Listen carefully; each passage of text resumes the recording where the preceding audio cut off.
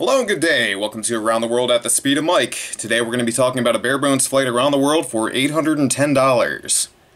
The first flight's going to go from Los Angeles to Tokyo, Tokyo to Manila, the Philippines, Manila to uh, Dubai, and then also in the United Emirates we're going to go to Abu Dhabi, Abu Dhabi to Budapest, Hungary, Hungary to Paris, and then back to LAX via Calgary, Canada. So the first flight's going to be from Los Angeles to Tokyo on Zip Air um, for $192, leaving on November 18th.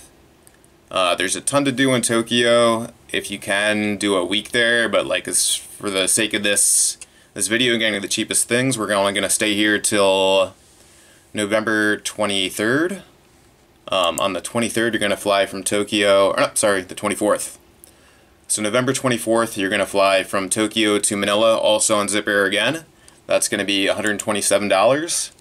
Um, if you book directly on Zip Air, it's going to be a little more expensive than what I'm showing you here on Kayak. Kayak's going with third-party vendors like eDreams and Kiwi, um, and that's going to be a little bit cheaper going through that, that route. Um, but if you want direct, just go to the website and you'll have to pay 10 more dollars or so for each flight, I think, on Zip Air. Um, Manila, there's definitely some things to do. I don't like it as much as Tokyo, but you know, I'll stay a few days there. So the next flight's going to be Manila to Dubai on Cebu or Cebu, Cebu, Cebu Airlines for $105, which is a pretty good deal considering the distance here. Uh, flying from Manila, Philippines to the United Arab Emirates, which is Dubai, or where Dubai is. Um, so Dubai is a pretty cool place to see. It just has some crazy buildings and the tallest building in the world, or it was the tallest building in the world. Um, you can fly to our next destination from here, but you can do it a little cheaper if you take a bus and taxi to uh, Abu Dhabi, which I've never been to. I'd like to go there, but it's going to be about the same price either way. You're going to play a little more flight-wise, going directly from Dubai to Budapest, which is our next destination.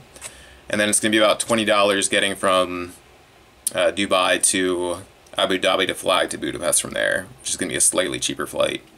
So either way, the next flight is going to be Abu Dhabi to Budapest on Wizz Airlines for $77. That's going to be on November 28th. So Budapest is an awesome city. It's probably my favorite city in Europe. There's a ton to do there, a ton to see, I think. So once you've spent your time in Budapest and enjoy the Christmas markets or whatever else you wanted to sightsee there, the next flight is going to be on EasyJet to Paris Charles de Gaulle from Budapest for $56 and that's going to be on December 2nd. So if I do this trip, this is going to be the third time I've gone to Paris, so I don't really need to see that much. Um, so it's only going to be a couple days there. Uh, the next flight is going to be December 5th, leaving Charles de Gaulle to LAX for $253 on WestJet. Um, so there is a layover on this one in Calgary, which isn't too bad. I think it's just uh, three hours or so. Not really enough time to get out and about, but it's a pretty cheap way home. It's about 16 hours in total, counting layover. All in all, that's $810 to fly around the world. That's a pretty good deal.